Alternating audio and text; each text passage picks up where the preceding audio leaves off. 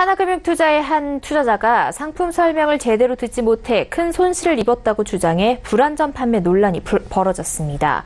이 만기가 2년 8개월인 전환사채 상품을 투자자에게는 6개월 만기 상품이라고 소개하고 약속한 만기일에 상환하지 않다가 결국 전환사채 발행 회사 대표의 횡령 문제가 불거지면서 큰 손실을 입혔다는 겁니다. 김성훈 기자의 보도입니다.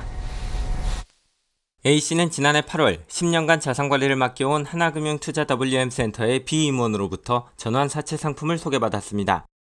코스닥 상장사 DMC가 발행한 전환사채 상품으로 2018년 3월 27일까지만 유지하면 만기 때 최고 연 27% 수익을 받을 수 있으며 주가가 내려도 100% 이상 환급된다는 설명이었습니다.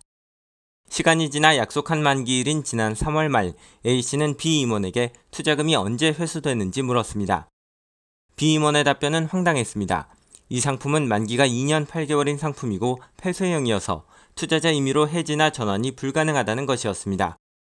A씨는 만기와 상품 형태가 처음 들은 설명과 달라 놀랐습니다. 만기가 길었다면 투자하지 않았을 것이기 때문입니다.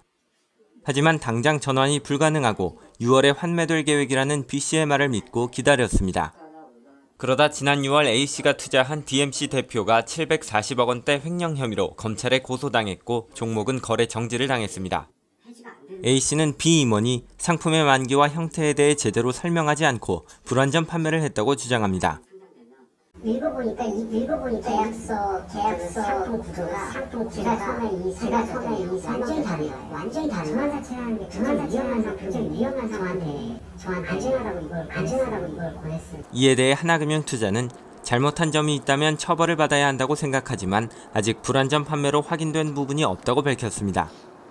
A씨의 투자를 담당한 B 임원은 서울경제TV와의 통화에서 해당 상품의 안정성과 조기 상환에 대해 강조한 점, 투자자 성향 파악 부분을 투자자가 직접 체크하도록 안내하지 못한 점은 인정하지만 상품의 형태와 만기에 대해서는 처음 상품을 소개할 때 충분히 설명했다고 주장했습니다.